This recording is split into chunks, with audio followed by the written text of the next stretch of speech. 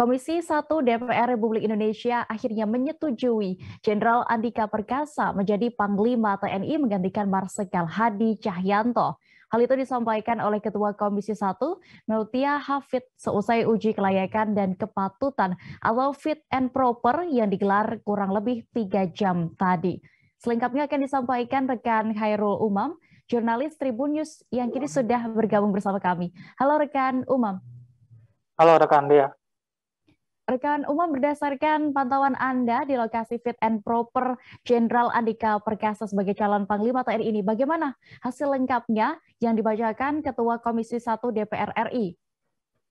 Baik, terima kasih rekan Dia. Dapat dilaporkan bahwa tadi sekitar pukul 13 waktu Indonesia Barat, eh, Komisi 1 DPR RI menyelesaikan proses fit and proper test terhadap calon Panglima TNI Jenderal Andika Perkasa dalam konferensi pers kepada awak media eh, hasil ada dua kesimpulan dari rapat internal Komisi 1 DPR RI terhadap eh, proses fit and proper pada hari ini yaitu yang pertama eh, Mutia Ketua Komisi 1 DPR RI Mutia Hafid eh, mengatakan bahwa Komisi 1 DPR RI menyetujui pemberhentian eh, Panglima TNI saat ini yaitu Marsikal Hadi Cahyanto sebagai Panglima TNI yang kedua, uh, Komisi, Komisi 1 DPR RI uh, menyetujui pengangkatan uh, calon Panglima TNI Jenderal Andika Perkasa sebagai Panglima TNI untuk menggantikan Marsikal TNI Adi Cahyanto.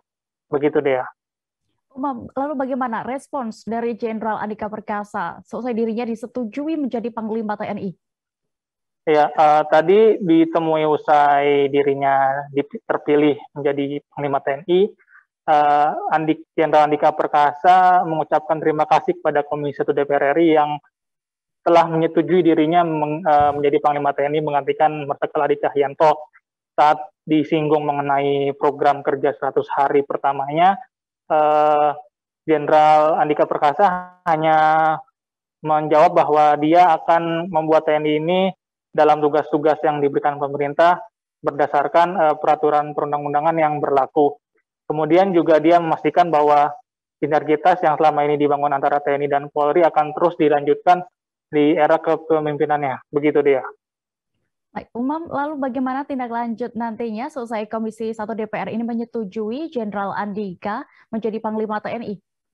Uh, ya baik, uh, dia tadi uh, Ketua Komisi 1 DPR RI Muti Hafid mengatakan bahwa uh, setelah rapat internal tadi uh, seluruh dokumen dan hasil laporan terkait proses fit and proper calon panglima TNI akan ditandatangani oleh pimpinan Komisi 1 dan kemudian akan uh, disampaikan atau dilaporkan ke pimpinan DPR dan uh, setelahnya kemudian uh, akan dibawa ke rapat paripurna untuk mendapatkan persetujuan dalam rapat terdekat dan kemungkinan rapat paripurna terdekat ini rapat paripurna DPR terdekat akan digelar pada hari Senin lusa.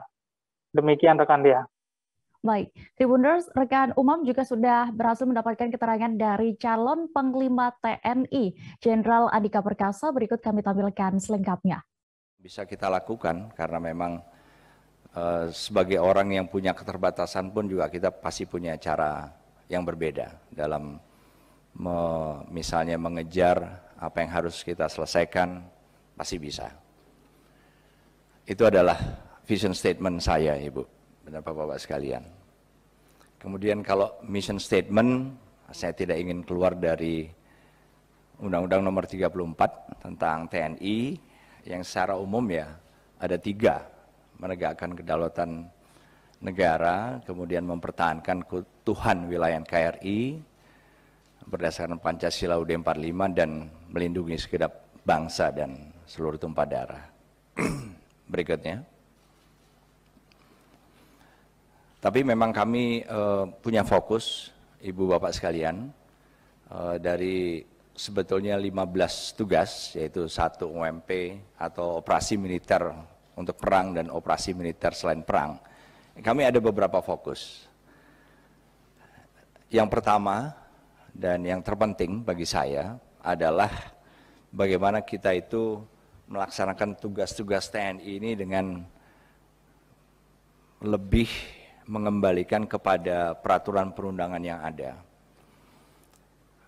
Tugas-tugas yang kami laksanakan selama ini sudah diatur dalam undang-undang Tetapi memang detailnya, implementasinya yang saya melihat masih banyak kelemahan-kelemahan. Dan itu yang menjadi prioritas pertama saya. Bagaimana mengembalikan tugas-tugas yang kita lakukan ini dengan benar-benar berpegang kepada peraturan perundangan. Terima kasih sudah nonton. Jangan lupa like, subscribe, dan share ya.